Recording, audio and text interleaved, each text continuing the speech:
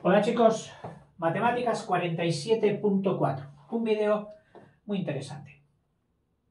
Pero antes te recuerdo, si este vídeo no lo has visto eh, secuencialmente, es decir, uno a continuación de otro, que, que está en el vídeo de la serie Matemáticas 051.6 sobre la cuaterna armónica, cuaterna armónica, que te sería necesario recordarlo, que es una cuaterna armónica.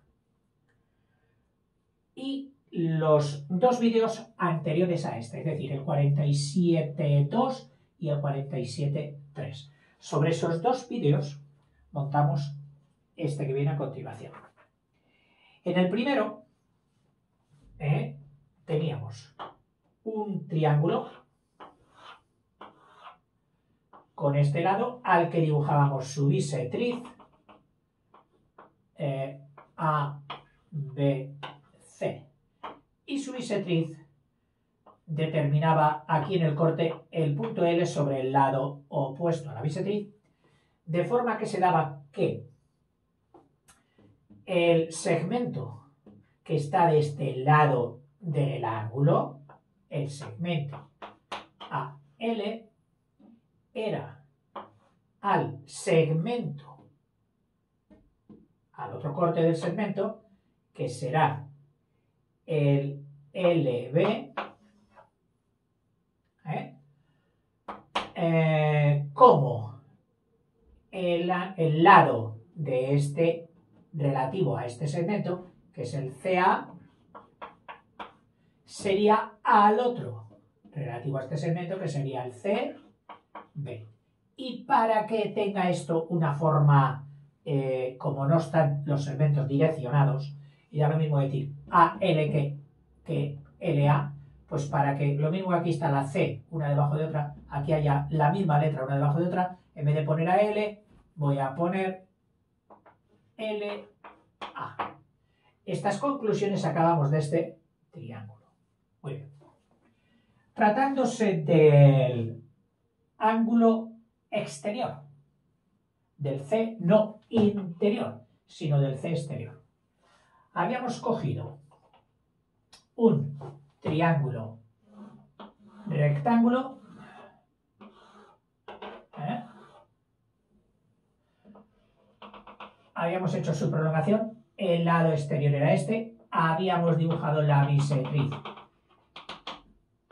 que venía a cortar a este lado al a B, en, no en un punto interior, sino aquí en un punto exterior al que llamábamos L'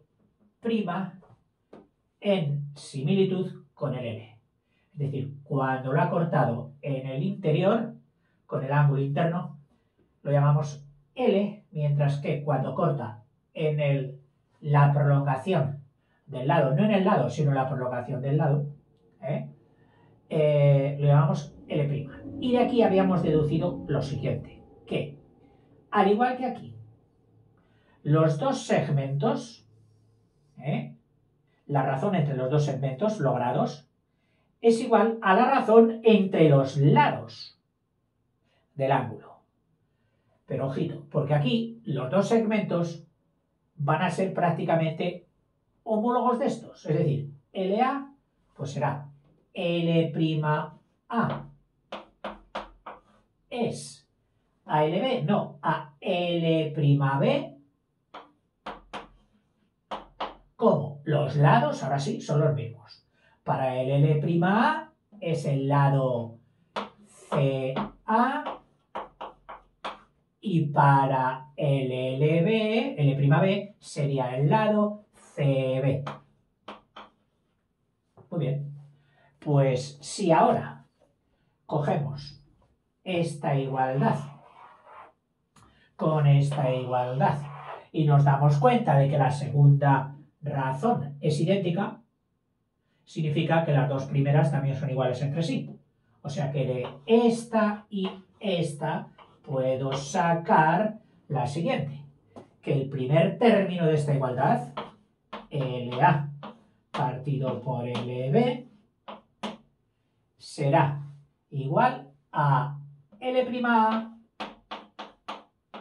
partido por L'B.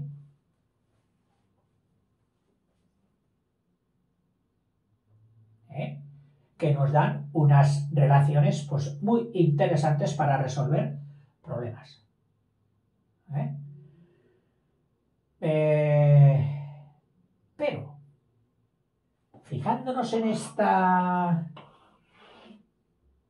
proporción y recordando el vídeo que era la cuaterna armónica, ¿eh? Fíjate por dónde, por dónde ¿eh? llegamos a la conclusión de que dados un punto y otro punto, es decir, ahora estoy recordando lo de la cuaterna, ¿eh? Dado un punto A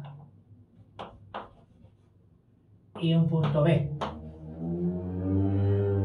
y teniendo uno conocido de los dos conjugados, porque recuerda que la cuaterna armónica eran una parejita que buscaban otra pareja. ¿Para qué? Para jugar con. Es decir, si juegan con es que son sus conjugados. ¿Eh? ¿Y quién es este? Estos eran el A y y sus conjugados eran el C y el D. El primer, uno de, uno de los conjugados tenía que meterse entre ellos dos. Es decir, dado un C aquí, ¿dónde tiene que estar el otro conjugado? El de Y esto, la cuaterna armónica nos decía lo siguiente, que estas, estos cuatro puntos se dice que forman una cuaterna armónica cuando son conjugados dos a dos.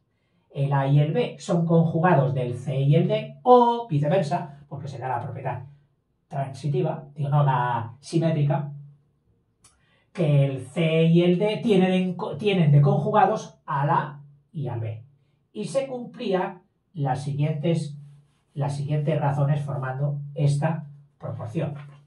Se cumplía que AC, la distancia de AC, es a la distancia de AD, es decir, los abracitos, los abrazos, que eran el A al C, son a los que da también al D, como los que su compañero de pareja, el B, da al C y da al D. Y si se cumplía esta proporción, es que estos cuatro puntos formaban una cuaterna armónica.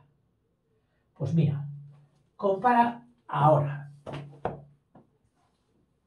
A, A, CD, BB, CD. Es decir, dos valores ¿eh? que se repiten en numerador y denominador. Numerador y denominador. Lo mismo tenemos aquí. El L se repite en numerador. El L', que es diferente, es como si fuera otra letra, se repite aquí y aquí. Y luego, los otros dos valores ¿eh? serían el C, el D el C, el D. En este caso aquí el A y el B, el A y el B. O sea que, o sea que los segmentos que parten la bisectriz interna y la bisectriz externa, es decir, el L y el L', son los conjugados del A y del B y entre los cuatro forman una cuaterna armónica.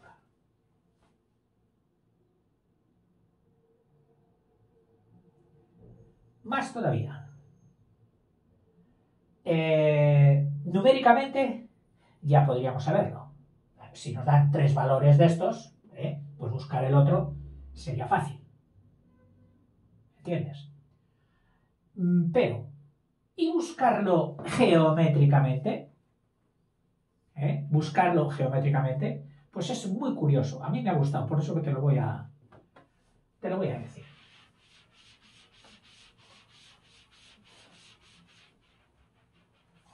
Verás.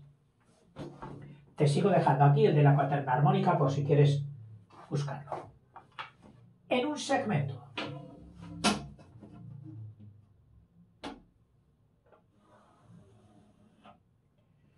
Donde tenemos un par de puntos, que serían los primeros conjugados, que buscan a su otra pareja. ¿eh? En un segmento. Donde tenemos una y un B. Y conocemos ya, o sea, el A y el B están locos por buscar la otra pareja. Entonces, de la otra pareja han conocido al 1, han conocido al C y le preguntan, ¿dónde está el otro? Que estamos desparejados. Tenemos que emparejarnos. Necesitamos a tu pareja, al D. ¿Dónde está? Pues mira qué cosas más curiosas nos dice. Dice, por A tracemos una recta cualquiera a R. Vamos a cogerla, por ejemplo, así. Una recta cualquiera, ¿eh?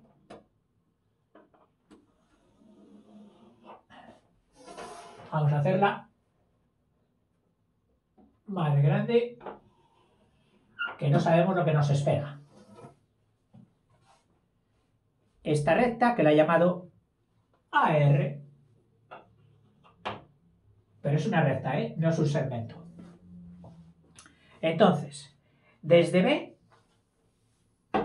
coges un fusil y trazas una perpendicular a esta recta. Es decir, que el tiro que pegues, ¡paf! cae aquí formando ángulos rectos. voy a permitir, en este caso podríamos hacerlo también eh, por simetría. Sí, podemos hacerlo sin ayuda de aparatos. Si esta distancia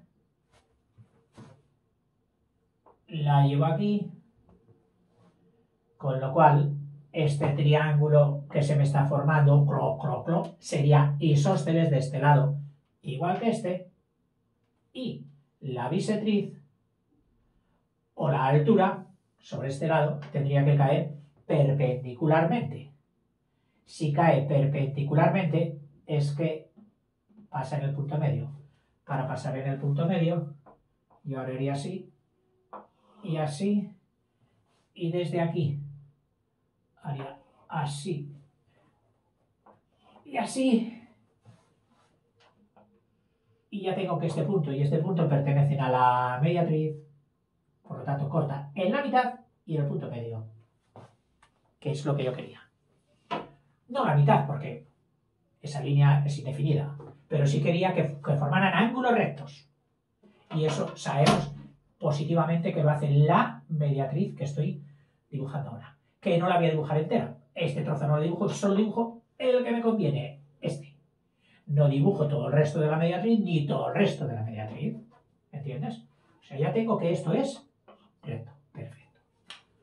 Borro o quito un poquito de broza. Quito esto, quito esto, quito eso, esto y esto. Ya tengo el ángulo recto que a ese punto lo vamos a llamar V. Muy bien. Entonces, ahora, dice, eh, desde B, desde B, tracemos la perpendicular y unamos el punto V con el C.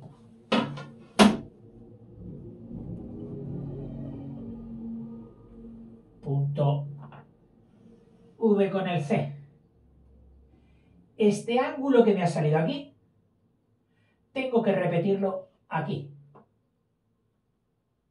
¿Eh? Este ángulo, vamos a llamarle ángulo alfa, tengo que repetirlo aquí. Es decir, para que esto fuera la bisetriz de este ángulo 2 alfa que me va a salir. Para hacerlo eh, bien, pues puedo dibujar un... A ver cómo consigo un ángulo igual. Primero hago esto más grande, prolongamos que sería la bisetriz y respecto a la bisetriz, este punto tiene que tener su simétrico aquí. ¿Eh? Su simétrico aquí. Si esto fuera un eje de simetría, el simétrico de este estaría aquí. Y me aseguraría que este ángulo sería igual al ángulo que diera aquí de unión con este. Y para conseguir el simétrico del C, que sería un C' dado por aquí, pues puedo hacer esto. Esta distancia la llevo aquí y esta distancia, que es diferente, la llevo aquí. Este punto es simétrico de este. Entonces, este ángulo que pasa por aquí que aparentemente parece mayor de alfa,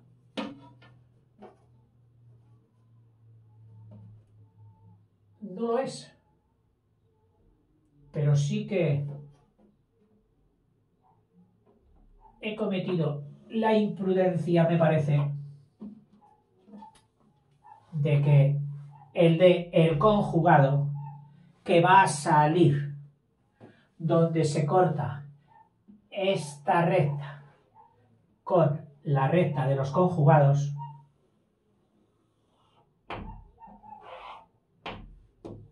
ahí estaría el D.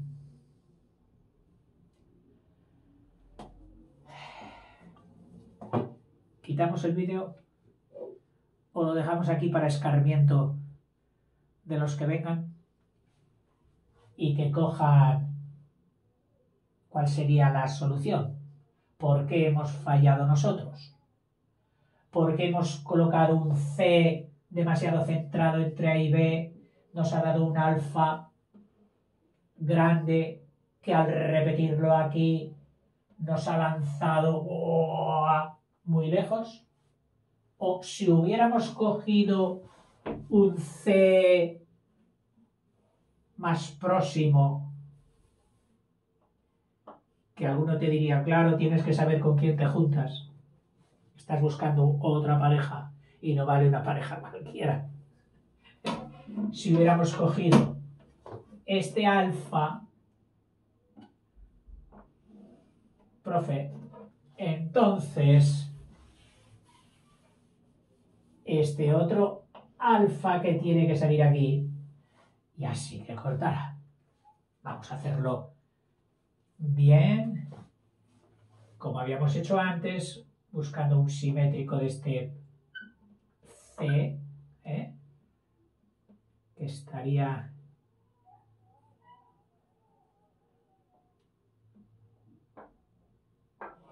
aquí y este aquí este simétrico de este, por lo tanto este ángulo es igual que este, que es lo que nos han dicho que teníamos que hacer. Y ahora sí que esto corta aquí. Este sería el T. El que hace pareja de conjugados C y D. ¿De quiénes? De una pareja de la anterior, el A y el B. ¿Eh? Y se da la paterna armónica entre los cuatro. La volvemos a recordar, que era que las distancias de A, de uno de los dos iniciales, el A y el B, del primero inicial a cada uno de los conjugados, es decir, AC es a AD, como la distancia de B a también a los dos conjugados recién llegados, es decir, del BCE al BD.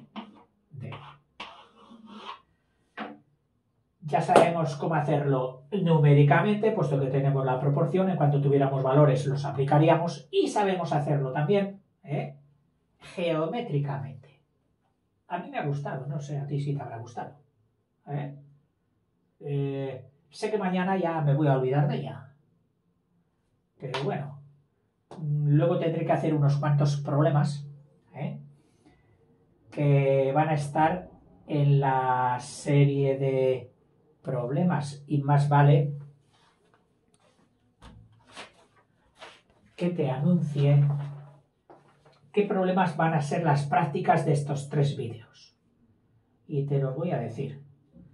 Como en geometría problemas estoy en el 157, los problemas de prácticas de estas relaciones de bisectrices llevarán los nombres de GP, ¿eh? buscarlo en la serie Geometría Problemas o Problemas de Geometría, 158 eh, y siguientes.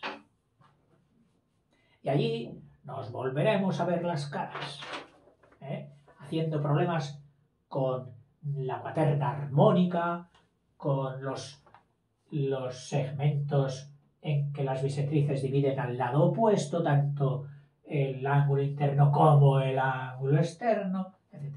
Oye, interesante, es bonito. Sí o sí. Hasta luego.